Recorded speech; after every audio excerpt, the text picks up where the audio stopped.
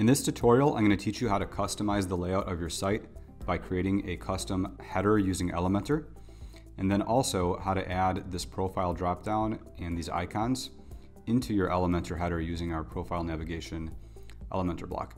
So we're going to head into the WordPress dashboard.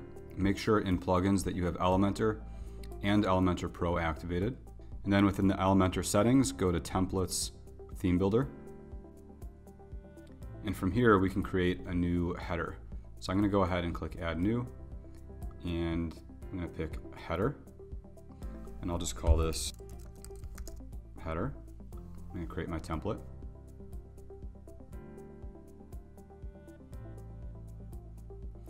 And I'm going to go ahead and use this header pre-built template just to make this faster. And let's publish that. So Elementor lets you set conditions as to where the header will display. I'm just gonna say it displays on the entire site.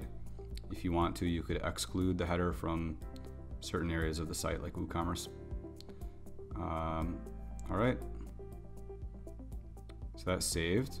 Let's refresh the site and just see where we're at right now. All right, things are looking kind of okay. Let's just clean this stuff up before we move to the profile dropdown. So the logo size is a little bit off and it's using the wrong navigation. I can see it's using the body panel and we want our title bar here. So I'm gonna go in here and let's first click the navigation and switch it to title bar and update. Let me go into the logo and just make it look a little nicer.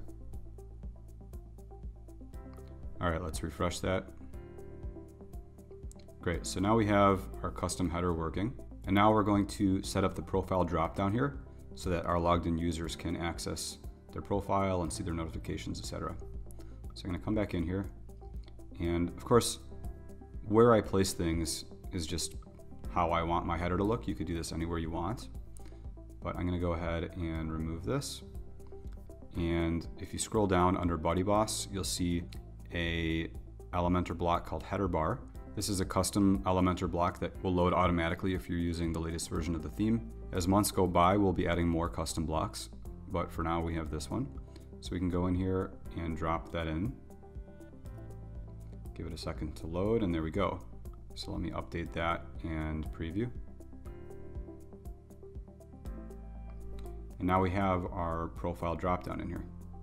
So now I'm going to show you how to customize this. Part of the appeal of Elementor is that it's really flexible with tons of options. So we've gone ahead and given you a lot of layout options for this, just like any other Elementor block. So if we go in here, you can see you can turn the profile dropdown on and off, the separator on and off, the individual icons can be turned on and off, and we can actually change the icons too. So let's say the messages icon, I can go into the Elementor library and use their icon if I want to. And then, or I can turn that off and go back to our default icon. And then if I go into style, we can adjust the alignment of our block. We can adjust the space between elements, the width of the separator, and the color of the separator.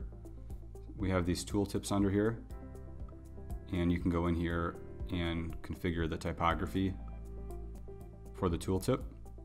And if you watch our custom fonts video, you can actually add custom fonts into BuddyBoss theme, which are available in all Elementor blocks. So I can switch the font of our tooltips.